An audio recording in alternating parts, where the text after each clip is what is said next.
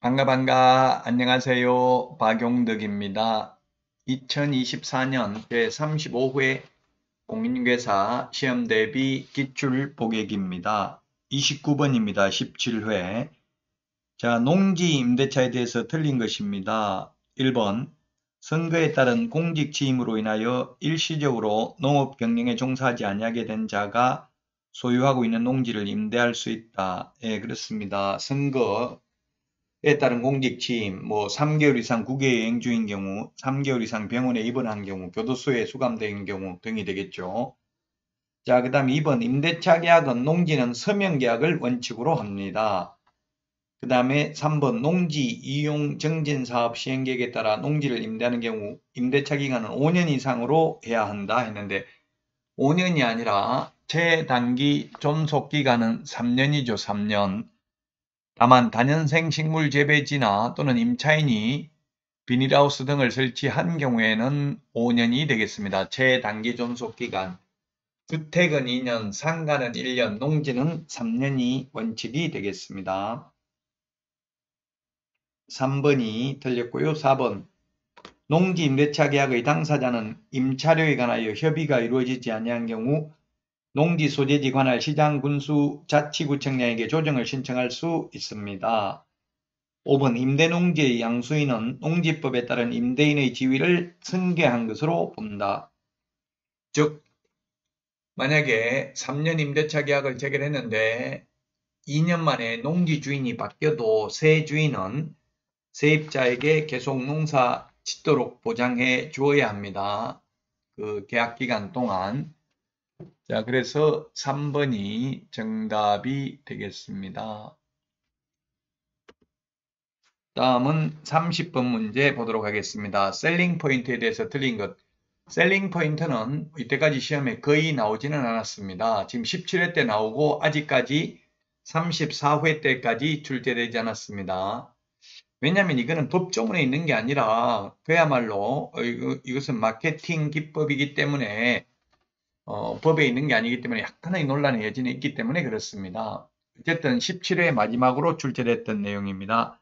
셀링 포인트라는 것은 소위 판매 소구점이라고 하는데 일본식 한자로 말하면 여러 가지 상품이 지니는 특징 중에서 구매자, 매수인에게 만족을 줄 수 있는 특징을 셀링 포인트라고 합니다. 네, 그래서 1번 맞고요. 2번 각각의 셀링 포인트는 중개사물이 갖는 고유의 특성이라고 할 수 있지만 모든 특성이 절대적인 것은 아니기 때문에 상대성이 있을 수 있다. 그렇습니다. 집 근처에 백화, 백화점, 할인 매장 이런 거 있으면 좋아요, 안 좋아요? 어, 좋다고 하는 사람도 있고 일부는 또 시끄럽고 차대기도 힘들고 하고 다고 싫다고 하는 분도 있을 수 있습니다. 절대적이지 않습니다. 너무 아무리 좋은 것이라도 너무 집 가까이에 있으면 오히려 안 좋을 수도 있습니다. 그래서 상대적입니다. 맞습니다. 뭐 학교가 옆에 있으면 좋으냐?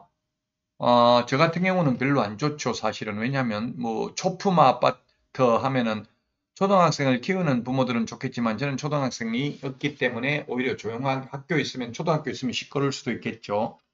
그래서 상대적일 수 있습니다. 절대적이지는 않습니다.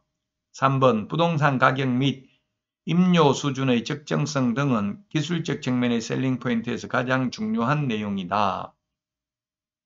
했는데 가격 이거는 기술적 측면이 아니라 경제적 측면이죠. 그래서 틀렸네요.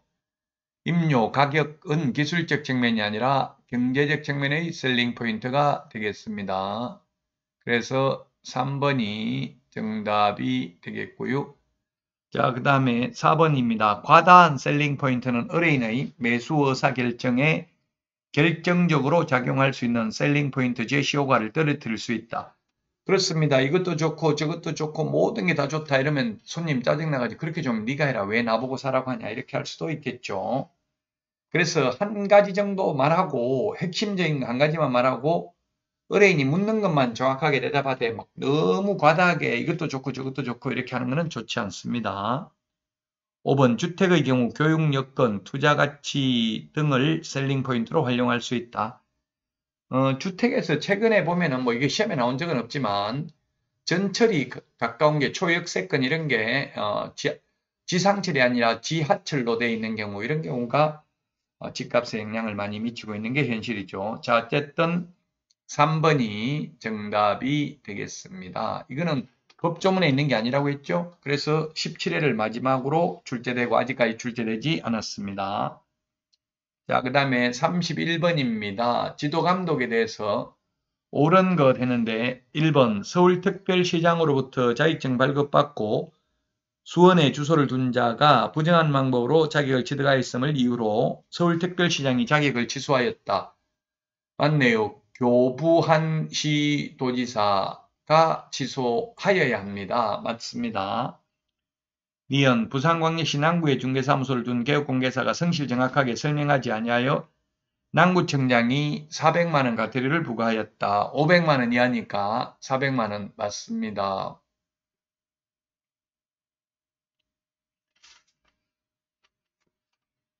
그 다음에 디귿에 서울특별시 노원구에 사무소를 둔 개업공개사가 거짓으로 개설 등록을 한 것을 이유로 노원구청장이 6개월 업무정지 처분을 하였다 했는데 어, 거짓 부정한 방법으로 등록을 한 경우에는 업무정지가 아니라 절대적 등록 취소입니다. 그래서 틀렸고요. 그 다음에 리얼에 전라북도 군산시에 사무소를 둔 개업공개사가 다른 개업공개사, 다른 사람에게 자기의 성명을 사용하여 중개물을 하게 한 경우 성명을 사용하게 한 것은 양도대하고 똑같죠? 절대적 등록 취소 사유입니다. 맞습니다. 자, 그 다음에 미음 강원도 춘천시에 사무소를 둔 개업공개사가 등록증을 게시하지 아니하여 강원도지사가 과태료를 부과했다 했는데 어, 게시 의무 위반한 경우 등록관청이 부과합니다. 그래서 옳은 것은 3번이 정답이 되겠네요. 기역, 니은, 리을 세 개가 옳은 내용이 되겠습니다. 다음은 32번 문제 보도록 하겠습니다. 보상금에 대한 설명으로 틀린 것입니다. 자, 1번 문제 보겠습니다. 보상금 지급에 소요되는 비용 중 국고에서 보조할 수 있는 비율은 100분 50 이내로 한다. 그렇습니다. 50% 범위 내에서만 보조할 수 있습니다.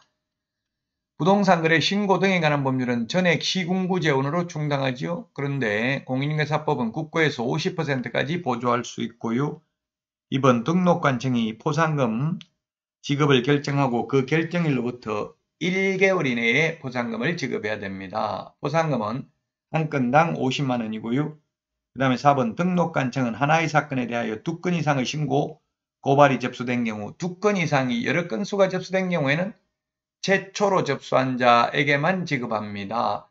한 달 전에 신청하고 한 달 후에 신청하고 또 두 달 후에 신청했으면 맨 먼저 한 명이 받아가면 끝입니다. 그러나 같은 날 동시에 여러 명이 오면 그런 경우에는 균등 배분입니다. 여러 건수가 접수됐을 때는 최초로 신고한 자만 2인 이상이 공동으로 신고한 경우 균분해서 지급을 합니다. 자, 그 다음에 5번 답은 4번이 되겠네요. 틀린 걸 물었으니까 4번이 정답이 되겠고요.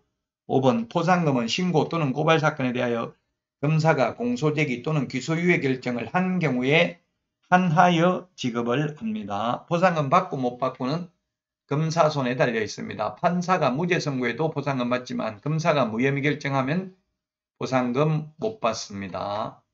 검사가 공소 제기하거나 기소 유예 결정을 해야 되니까 기소 중지, 불기소 처분, 무혐의 결정, 공소권 없음 하면 보상은 못 받습니다.